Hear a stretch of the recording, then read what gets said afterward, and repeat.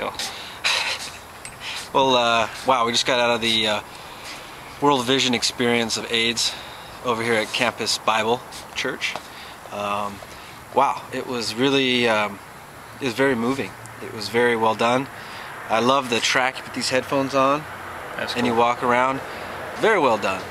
Really, uh, the music, the congas in the background really made it uh, Djembes. djembes. Really made I it don't know what it festive.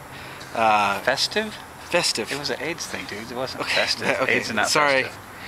It was very uh, Hey, let's party. moving. It's an AIDS party. What's festive? What is festive? That's messed up. AIDS party. We're doing an AIDS party. Come on down. Oh, I meant like the.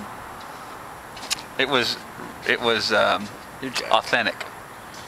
Okay. Let's do it again. No, we're gonna just keep rolling. Okay, I'll just keep this one.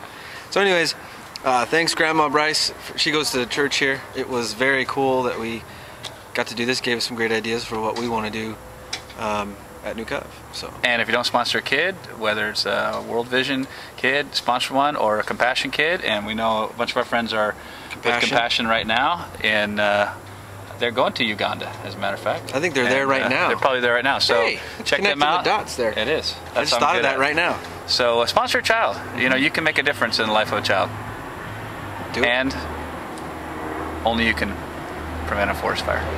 Only you.